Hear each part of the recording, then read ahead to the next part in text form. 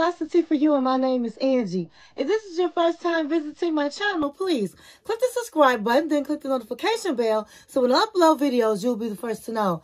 Like this video and make a comment. This channel is about fashion, relationship advice, and lifestyle. And this is not your first time visiting my channel, well, welcome back, my queens, and welcome to the kings out there. Okay, so you know what day it is. It's Ratchet Wednesday. It's Ratchet Wednesday. All right.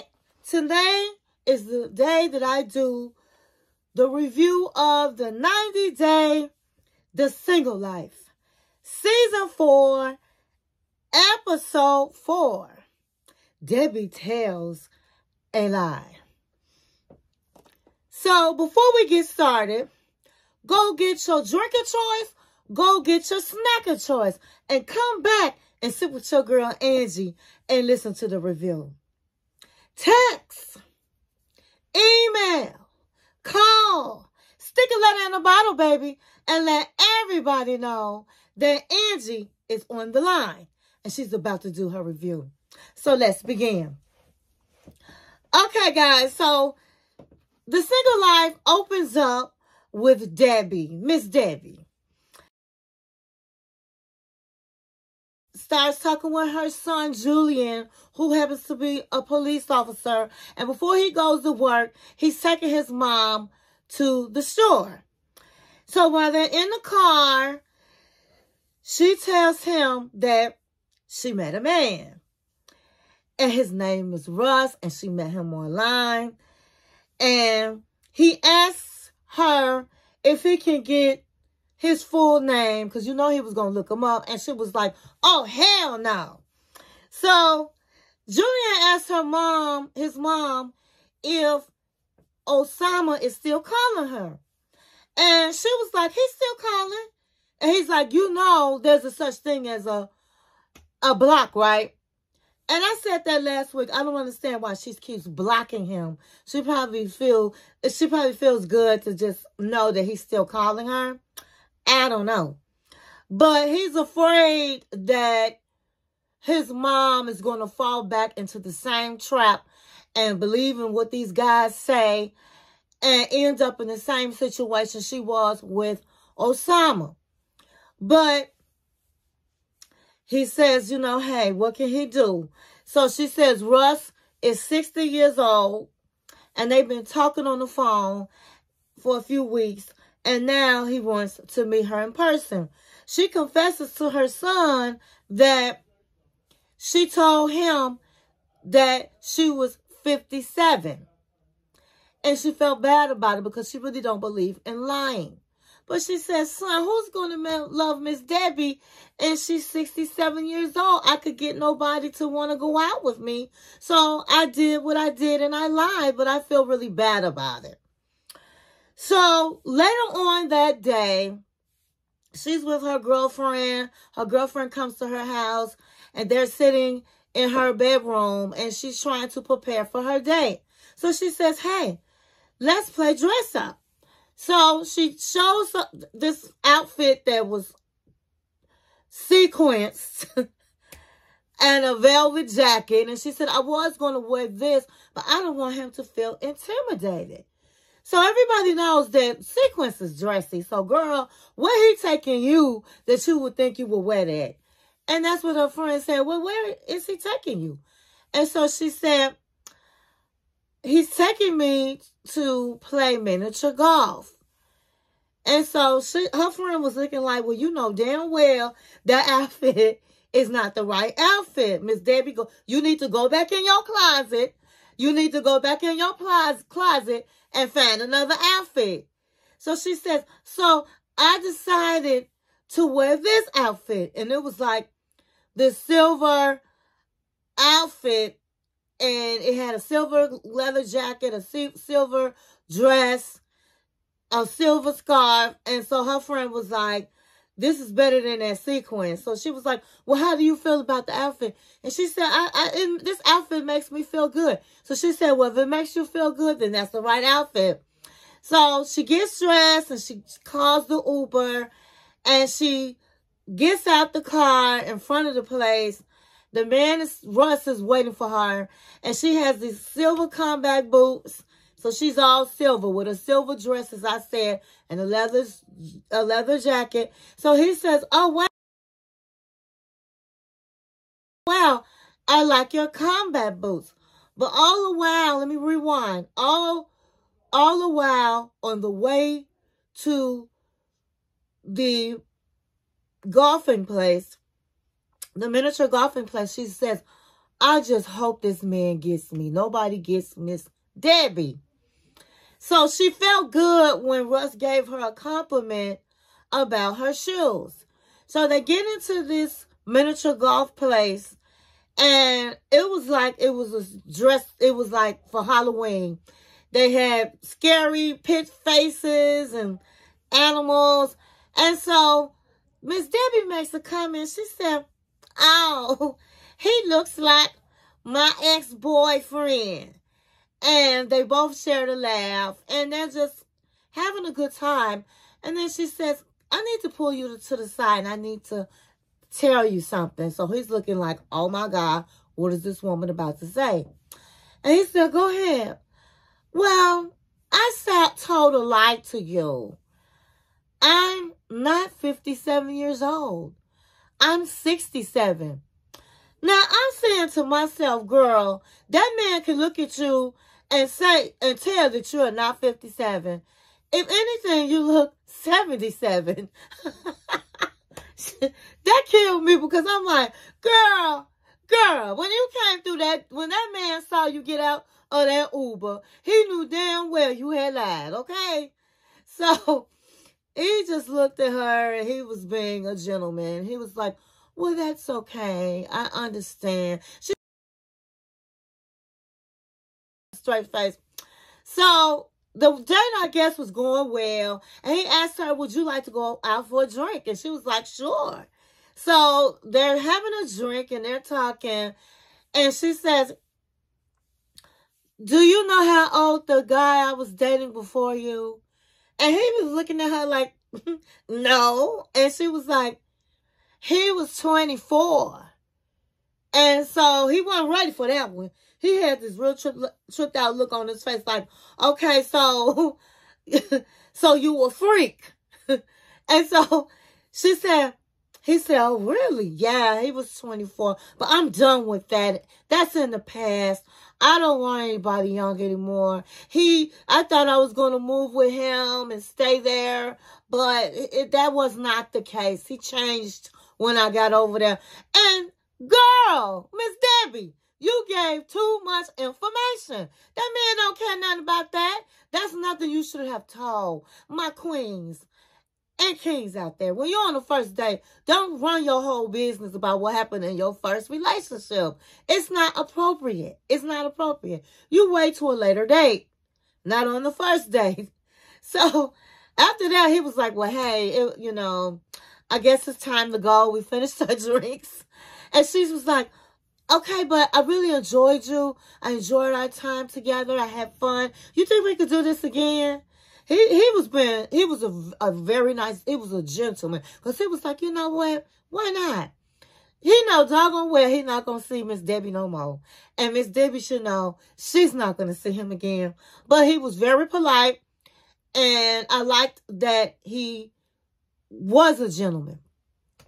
So we have to see what happens with Miss Debbie next week. Next, we're going to go into Natalie.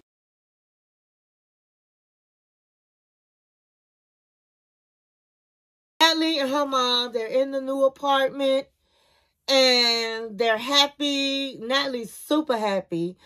And she was like, I am so happy that Josh was able to get us this apartment.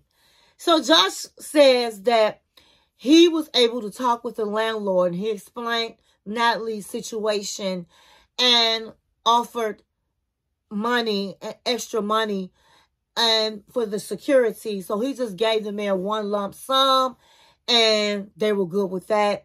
And he was happy with that because he was not going to be no guarantor. He was like last week, I don't know you like that. that's not going to happen. So I'm glad it worked out where he was able to get Natalie this place. It's a it's a nice apartment. It's right down the street from the beach. It's in a good neighborhood. And he says it's not far from his house.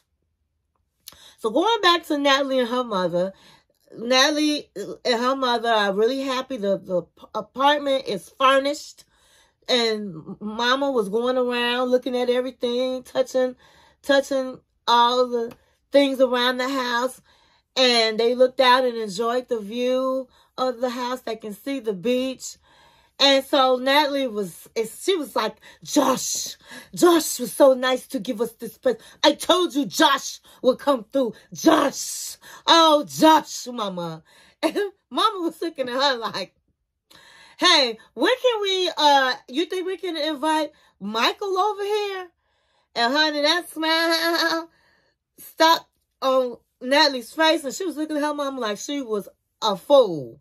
And she was like, in confessional, she was like, I just hope that Josh, it's important to Josh to make a, a, a good impression on my mother because of how he treated us at the airport. He needs to shine with my mother so that I think later on down the line, she's going to like Josh and she won't be thinking of Michael. Let me tell you something about my Natalie's mother. Natalie's mother is not a fool. She raised a fool because she know who Josh is, okay? She know what kind of man Josh is. Josh is not trying to be, in my opinion, all wrapped up into Natalie. Natalie is wrapped up into Josh. So later on that day, Josh is waiting at this restaurant. It had lobster tails lined up at this restaurant, so it looked like it was a fine restaurant. They come in and he's like smiling. And he was like, oh my God, I'm so happy to meet you. And he hugs her. And he said, oh my God, you're so beautiful. He's telling Nelly Mama that. Nelly Mama like, honey, them, them compliments is not going to work over here. I want to know what happened to you at the airport. So the mother started talking, Josh started talking, and Josh is telling Natalie, you need to translate for me. Natalie was not translating everything her mother was saying. Natalie was trans translating what she wanted to be said. So he asked Natalie to ask her, tell me something about Natalie that I wouldn't know. And that's interesting. And Natalie says, he wants to know when I was a child in, in the elementary school, tell him something. And she goes, well, naturally, she started the the plays at at at this grammar school, and she started up the drama club, and and he was he she translated that he was like, listen, I'm not even.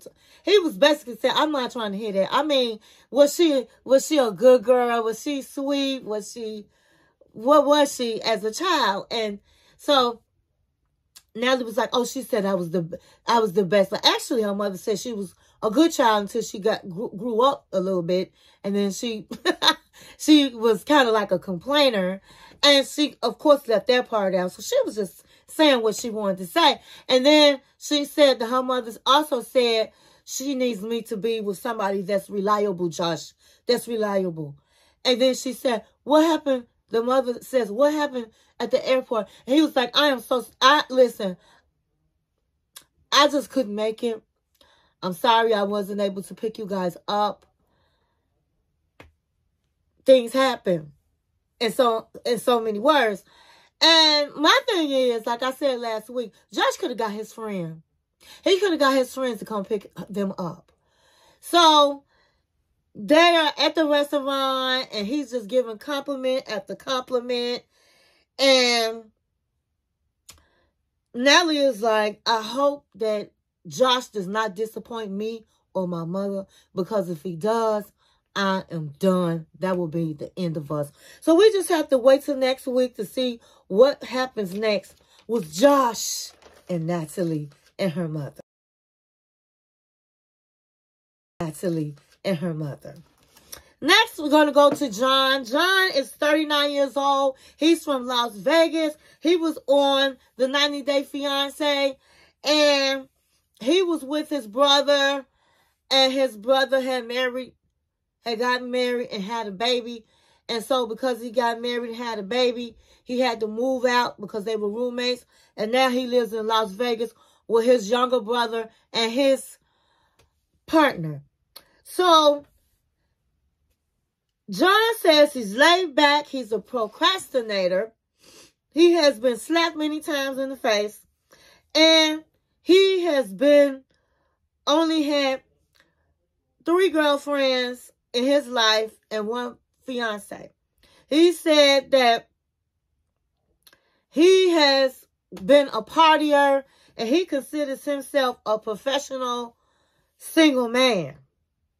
But he met somebody. And so the scene opens up with him and he's in the kitchen with his his brother and his wife and his and their baby, which is his niece. And he's holding the baby and his brother asked him, Do you ever want a baby? He was like, Don't think so. No. Why not? He was like, I like to do what I want. I like to go wherever he said I like to go wherever I want. I wanna don't have to have no responsibility of a child. And I'm, I just never wanted a child. And that's okay. It's a lot of people that didn't want any children. And so he said, but I'm going to go out, back out and visit my girl, Megan. He said, oh, wow, how long you been talking with her? He was like, it's been about five months. And he was like, no, uh-uh, you just been smashing he said, no, this is my girlfriend. And so his wife was like, I think he's telling the truth because on social media, he has in a relationship.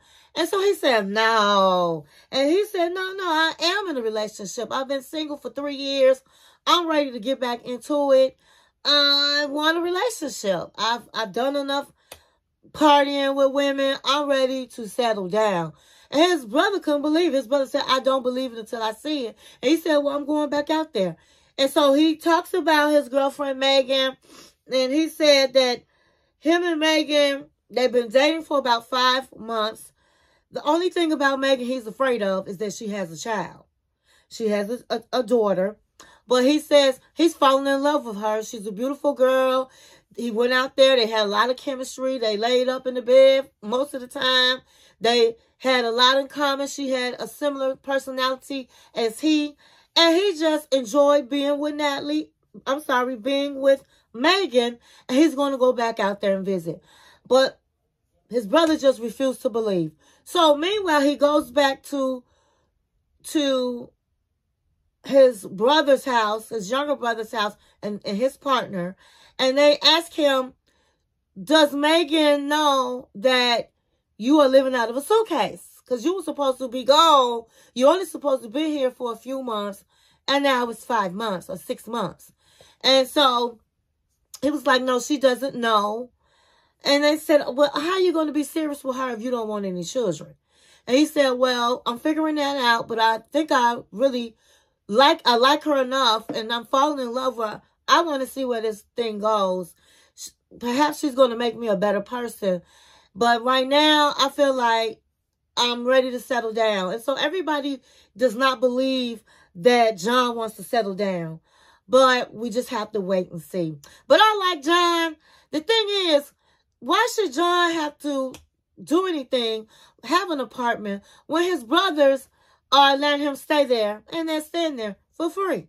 So as long as his family is being, you know, being there for him like that, He's, to me, taking advantage of situations. They should just put his behind out, give him a deadline, and put him out. And either he gonna sink or swim. He has, I don't know if, I believe he has a job, so he needs to get it together with his life. But I do like, like him a lot. So next we're gonna go over to Chantel. So Chantel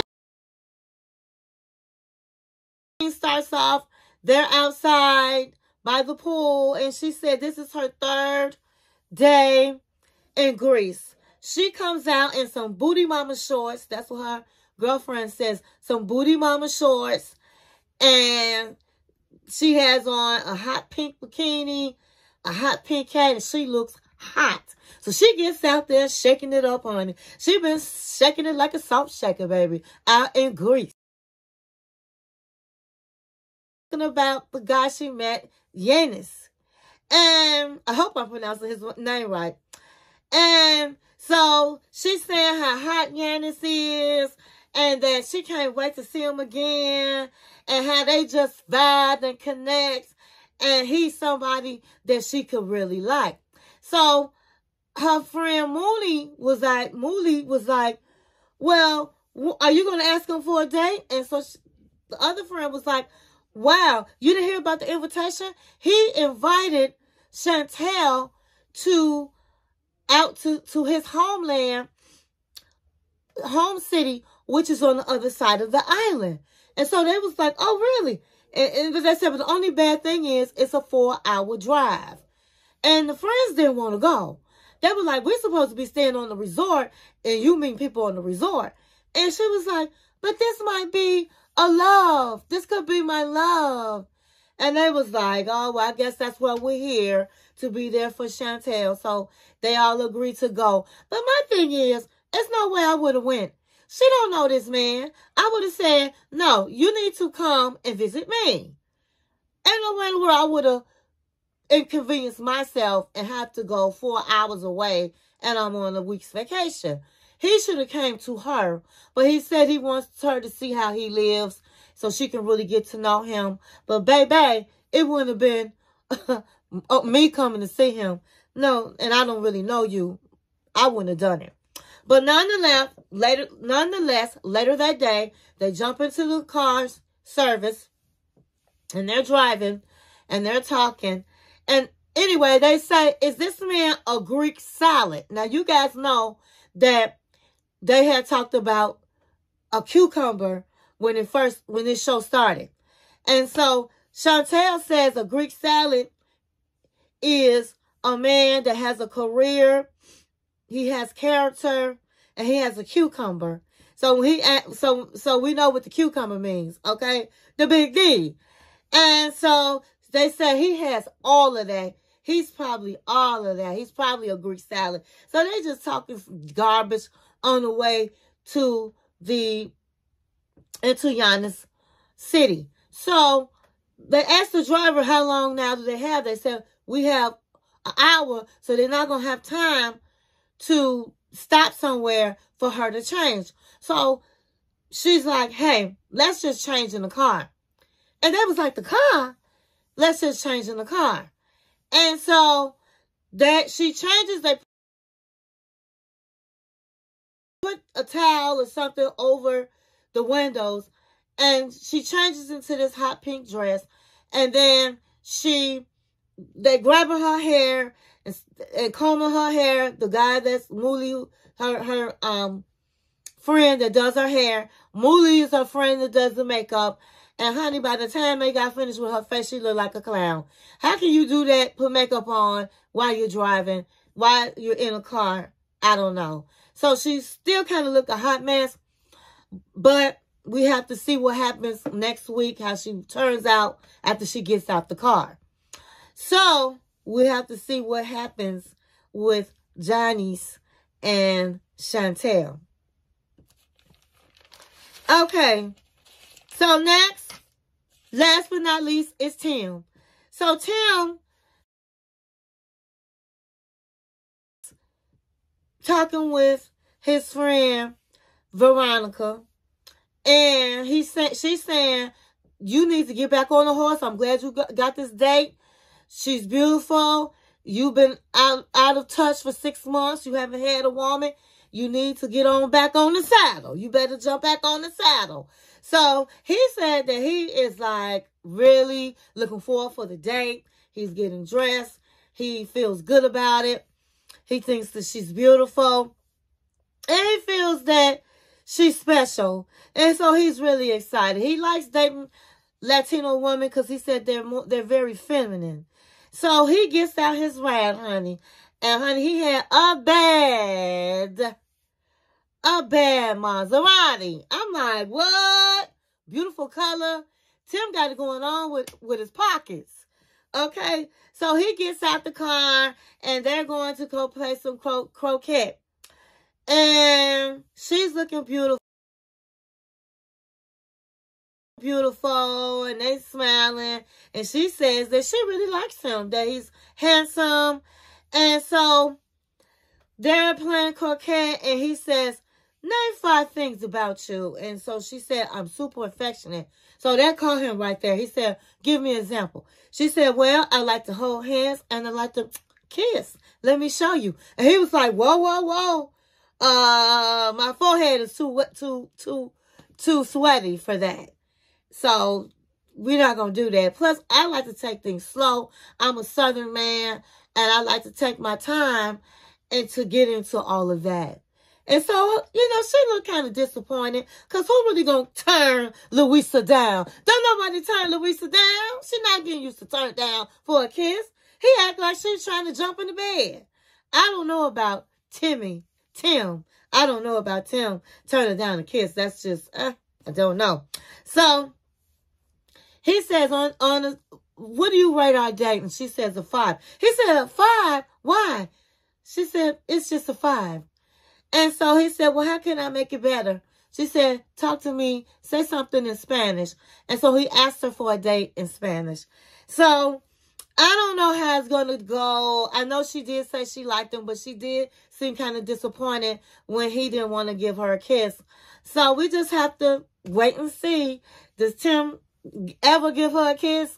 Will this work out? We won't know till next week. So that's all I have today. I hope you enjoyed my review and thank you for watching my channel.